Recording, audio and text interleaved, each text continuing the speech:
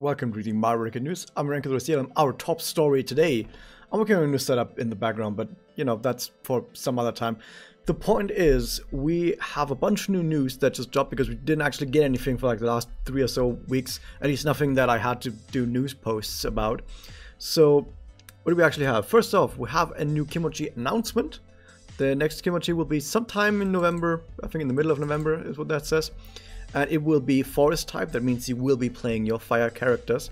And also, uh, it will be the kind of Kimochi where you play Magia strategy, which is basically every Kimochi. Because it turns out at this point, Magia strategies are so powerful that even the current uh, Kimochi that by the time this news goes live is about to time out, um, there was supposed to be a Charge Blast Kimochi with Dark type. But as I said in the news before then, uh, you probably are not going to play Charge in uh, that battle anyway because Doppel strategies are so good. And it turns out the Kimochi had a 200% damage down against uh, Magia, 200 Magia, 200% Magia damage cut.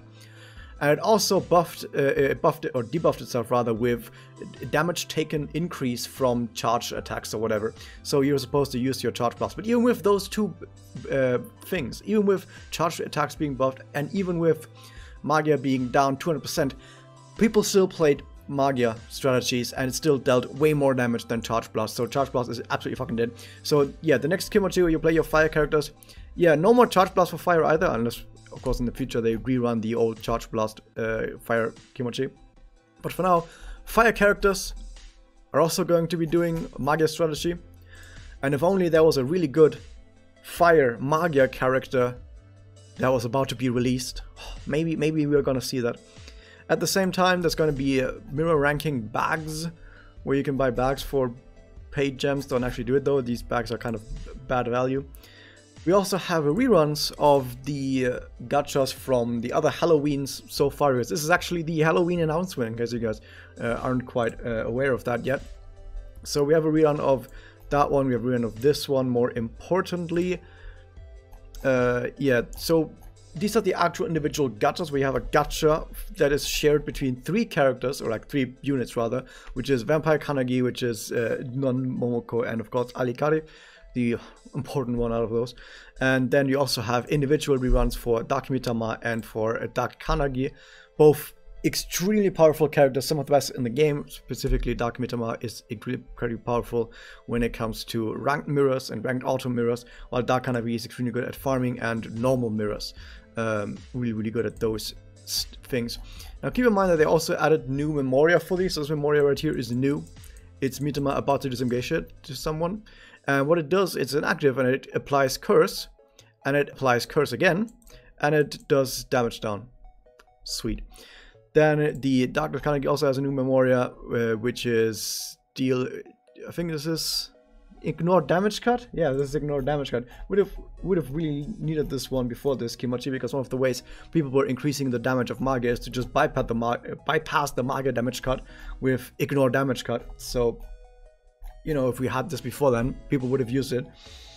But of course we didn't. But yeah this is that one. Chance to ignore damage cut and damage increase are those two. I kind of read that already i don't know. More importantly though as i said new unit.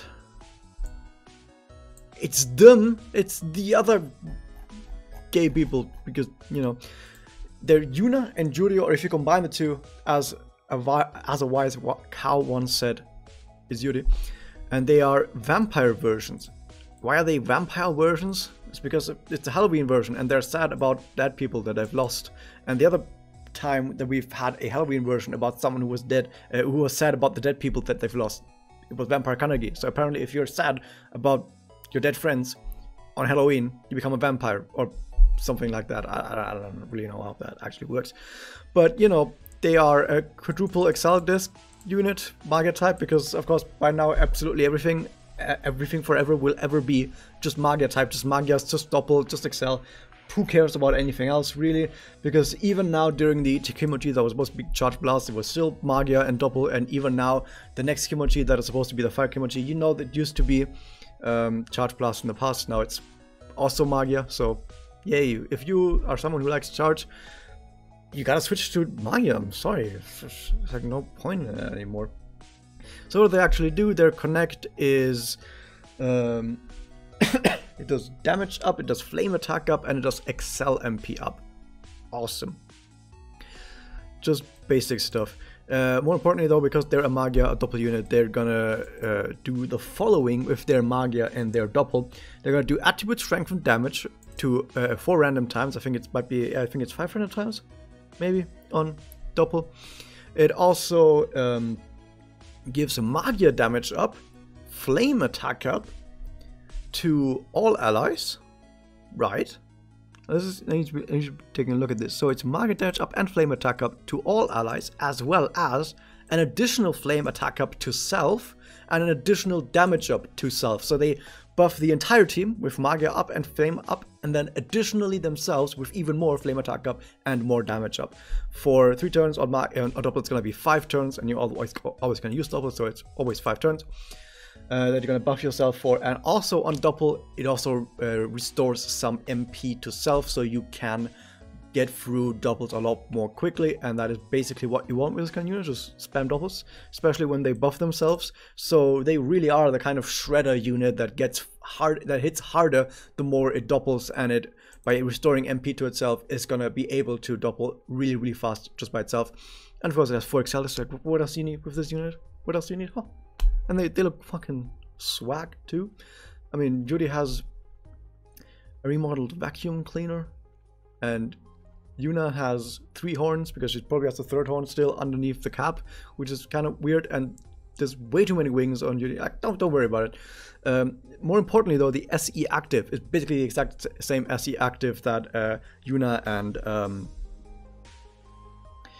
the Dark Kanagi had, where you damage yourself for 80% of your max HP, and then you gain a barrier for 10,000, and you also gain crit a, a, uh, two buffs for five turns. One of them increases your attack at critical HP by a lot. The other one increases your defense at critical HP by a lot. And you're gonna get both of these buffs to uh, do a shit ton of output uh, while you're critical HP, which you will of course be because you damage yourself for 80%. Awesome.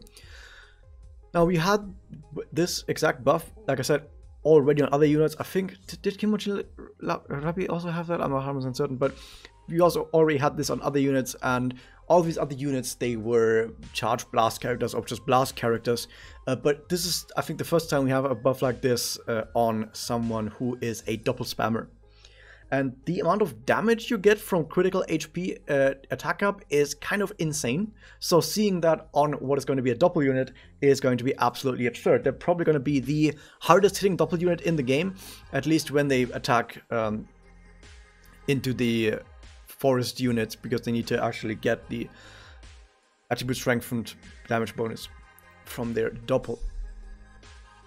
What else do they get? They get the following, a whole bunch of really cool buffs. The first one is at the start of battle, you get flame attack up. Yeah, flame attack up to everyone actually. Flame attack up and damage up to everyone. Awesome. It's not that much. I think at least the damage up is only like 5%, but I think the flame attack up is like a decent amount. So yeah, if you're playing specifically a flame party, you buff yourself really hard, uh, like you buff the entire team pretty hard. So yeah, that's pretty awesome. Give me that. Give me more of that. You have Mana Spring up, which basically just once again just shoots you uh, a little bit of MP. It's not going to be as much as some of the other MP units we've seen so far. I think it might only be like 50 MP or something that you're gonna get uh, after the first turn. But even so, just the fact that you gain a buttload of MP at the start of battle by just existing is already really nice and kind of what you want from a Doppel spam unit so that it like kickstarts itself basically. And if you take a look at the Accele discs that they have, four of them, you you're rather likely to get an Accele combo on turn one. And if you combine an Accele combo, even if they only get one of those Accele discs together with the uh, Mana Spring, they're probably going to be able to get to Doppel extremely fast, maybe in like one or two turns. So that's pretty cool. And you know, they're personal. Maybe they're personal like something like Accele Draw or just MP Restore to self or some other crazy shit. I don't know. Probably just gonna be Fire Attack or something like that. Then we also have the last SE know that they showed off here, which is even more attack up at critical HP and even more defense at critical HP. So yeah, you're gonna be having a crap ton of attack and defense, but the attack is the important part. That's pretty cool. And by the way, in case you're wondering, but should you really get yourself to really low HP on a Kimochi? Like, what if you die? But that's not gonna happen. Like, during the current Kimochi, I played solo Dark Kanagi, And solo Dark Kanagi takes like 250 damage per hit. Even at critical HP. Or at, at least uh, uh, specifically at critical HP. Uh, and the berry lasts for like 10,000 damage. So yeah, you're not gonna, the barrier is not even gonna pop. And even if the barrier pops, it can't even scratch you. So the Kimochi is not gonna kill you. It's not gonna happen. So being at low HP is not a thing. Keep in mind, by the way, if you play this character, uh, this unit, don't get healed. If you do get healed, which a lot of characters do heal, uh, Madoka Zero, for example, heals on Magia and Doppel, but more importantly, um, she heals with her SE active, which also gives MP. And so if you want the MP from her SE active, you're gonna have to get healed and lose the buff from this thing. That's that's pretty sad. Mm. What else do we have? We have, of course, the uh, Memoria. The other lower one doesn't matter. It's like attack up and a little bit of fire attack up, like whatever. And the other one is, I don't even think I've looked at that so far.